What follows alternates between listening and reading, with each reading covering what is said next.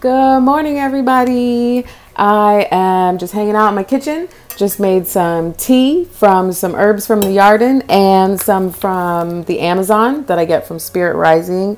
Amazing herbs, Spirit Rising. Yes, getting a plug in there for them.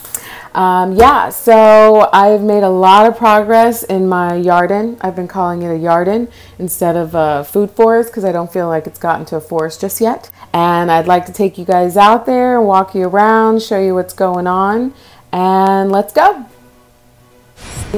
All right, so here we are out front, and right behind me is my Yarden.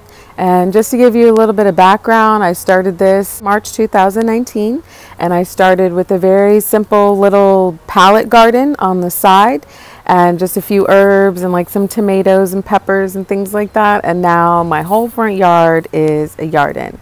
So let's check it out.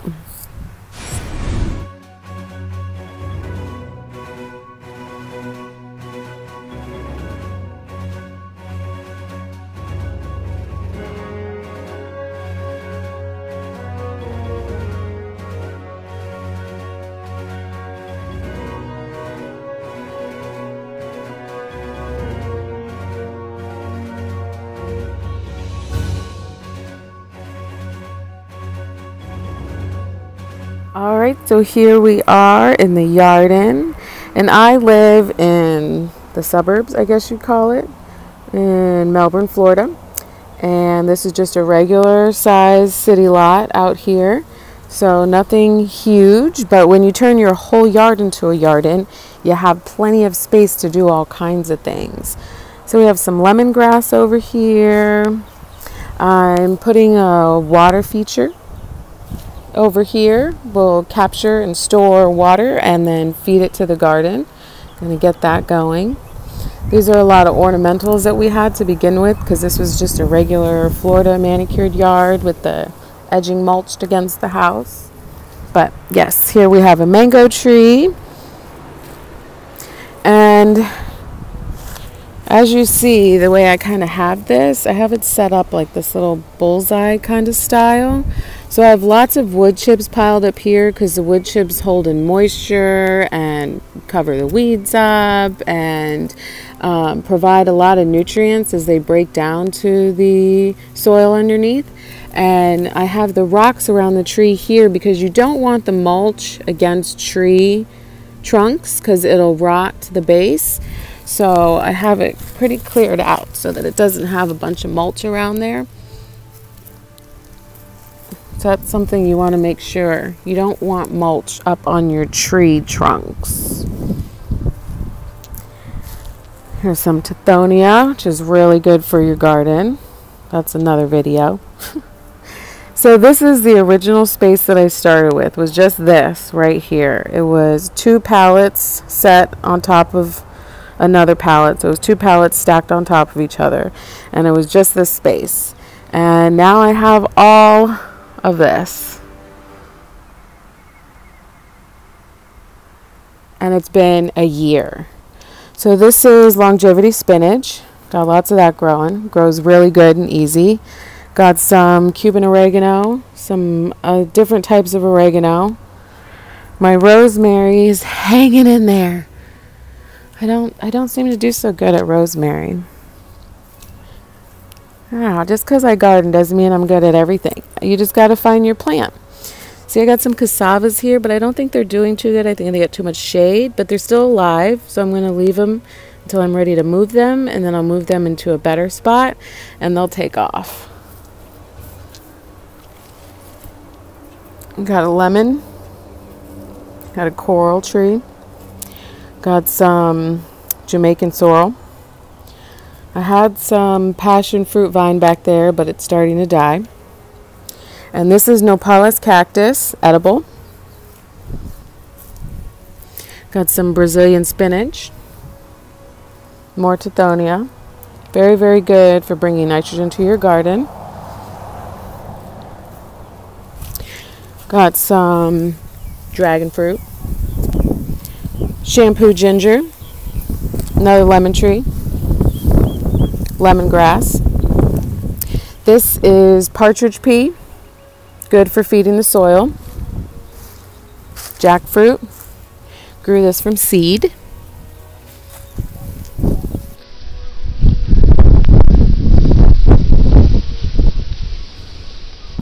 We have black sapote hanging in there. Loquat hanging in there too. It was kind of bad timing when we planted them. There was this like crazy, windy, freezy day. But they're hanging in there. Got some more oregano, plumeria, beautyberry, papaya. Papaya is a pioneer species. Papaya, sweet potato, cassava, um, those are all really good things to plant in your garden like as soon as you begin because they don't require uh, much nutrients in the soil and they actually can create canopies that allow other things to grow underneath them. So we got some collards here. Got some Haitian basket vine, some katuk, some bamboo, sweet potatoes, comfrey, more sweet potatoes. They just kind of grow everywhere. Papaya. We have three papayas. Desert rose. Desert rose. Mulberry. I grew this from a small twig. I took a propagated piece off of the tree. I went up to a very large tree and cut a piece, a woody piece that was about from here to about here.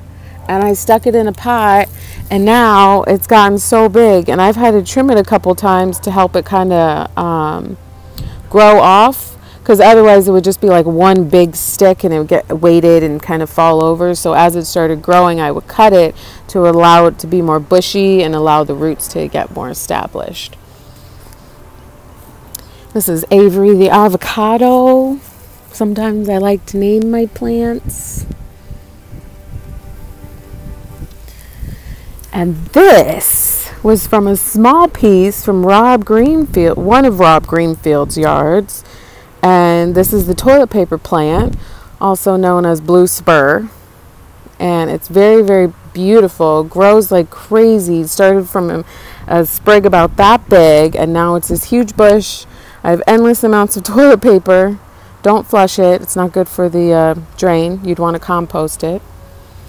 And then here's the loofahs. I made a video on these the other day and I prune them back like big time because we're trying to change this fence out. And as you can see, just from me pruning them back, when I came out yesterday morning, there was actually three new flowers and that's how you know that the plant is still doing very well, ready to keep producing because that's when you're going to get more loofahs. There's another flower out there. I don't know if you could see it. Yes, and then we have a sugar apple. This one is doing really, really good. It lost all its leaves, and now all of this has grown back in just a few months. And the sugar apple, the black sapote, and the loquat were all part of Rob Greenfield's community fruit tree project. So these are community fruit trees, and once they start producing, I will put signs on them that let people know that they can harvest as they walk by. I also plan on getting like a dry erase board or chalkboard out here so that once I continue to produce things, that people in the neighborhood can walk by and see what's available and see um, you know, what they can take. And I got to tell you guys, I mean, I put a lot of effort into it at the very, very beginning. And then with my hip and surgery and going away for a few months, there was about six months that nothing really happened out here. And this is everything that has survived and flourished completely on its own. And that is the intention of creating a food forest of, or, or Yarden is not so that you have to do all this work for the rest of the time that you have it, but so that you can implement it and then allow it to do its own work and take care of itself with very, very little human input other than you coming out and harvesting it. And sometimes if you don't harvest it, the uh, squirrels and rabbits will. so I hope you guys enjoyed that video. That's just a little tour of the Yarden. Um, any specific questions that you have will give me good ideas for a next video to make, like any plant that you saw that you'd like more detail about or any design that you see and you want to know why I did it that way. Drop a question in the comments and be sure to like and share if you like this video. I'm going to be making more and more videos I hope you guys enjoy them. Have a blessed day.